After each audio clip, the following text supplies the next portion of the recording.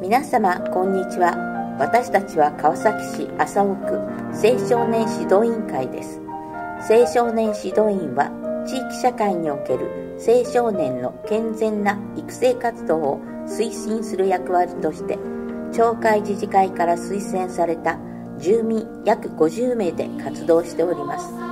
40代から60代が中心で子育てや仕事の合間を縫って活動し定年後の地域活動として関わったりしております。主催事業の朝をワクワクウォークでは参加者はチームごとに分かれて出発。手作りの小松を頼りにゴールを目指します。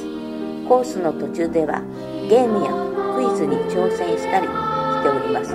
また月4回ほど行っている愛のパトロールでは夜間に住宅街や商店街を巡回し夏には町会自治会の夏祭り会場を冬には朝尾不動院のだるま市で会場周辺のパトロールを行っております。パトロールの時には相手に必要以上に緊張感を与えないよう「こんばんは気をつけてね」と愛の一声をかけます。